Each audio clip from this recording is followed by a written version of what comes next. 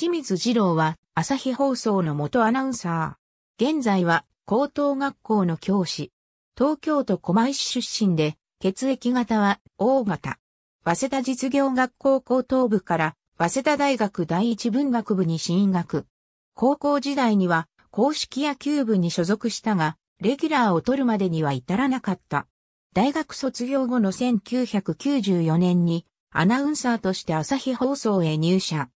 同期にはアナウンサーの証券、ゆうすけやテレビプロデューサーの井口武氏がいる。朝日放送に入社してからは同期の証券とともに主にスポーツ実況を担当している。その一方で1999年4月から2年間は日曜昼の生ワイド番組スーパーサンデーガッチとジローに証券とともにパーソナリティとして出演。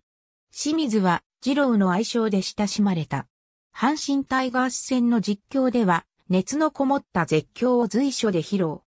高校時代に全国高等学校野球選手権大会で甲子園球場の土を踏めなかった自身の経験を背景に全国大会の中継で実況を担当する際には甲子園で野球がしたいという言葉で高校球児たちの夢を代弁していた。2007年から2015年まで決勝のテレビ中継の実況を担当。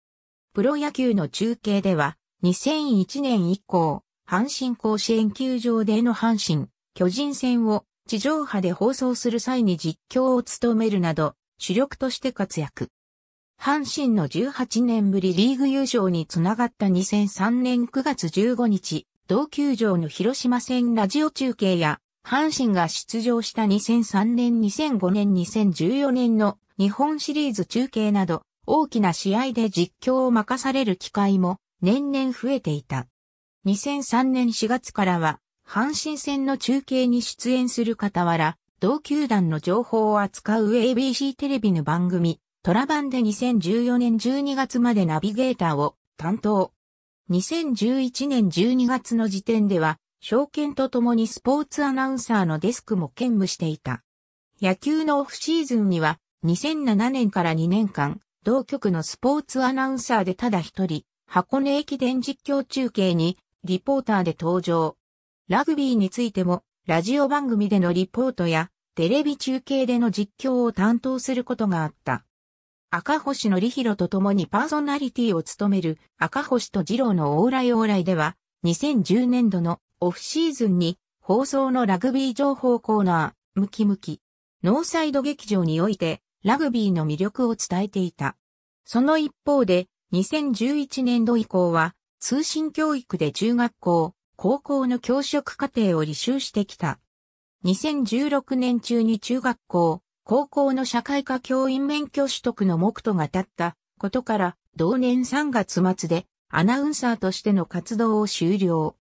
公立中学校の社会科教師へ転身すべく、7月実施の教員採用試験を受ける目的で、6月に朝日放送を退社した。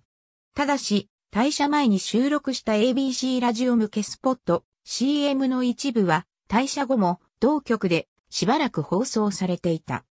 朝日放送からの退社後に、兵庫県教育委員会の公立高校教員採用候補者選考試験を受験したところ、2016年9月28日に合格が発表された。2017年4月からは、社会科の教諭として、兵庫県立西宮今津高等学校に着任。同校公式野球部の顧問にも就任した。着任後は、世界史の授業も担当。2019年から公式野球部の部長を務めている関係で、同年11月には甲子園塾へ初めて参加した。2021年春に兵庫県立西宮鉱山高校に転勤となり、現在は西宮鉱山高校の教師であるテレビラジオの全国高校野球選手権大会中継では2015年まで実況やインタビュアーを担当していた。2016年3月末で、すべての番組への出演を終了。翌月から朝日放送を退社するまでの期間には、有給休暇を消化しながら、教員採用試験への準備に専念していた。地上デジタル放送完全移行の前には、アナログ放送終了の告知ナレーションを務めた。ありがとうございます。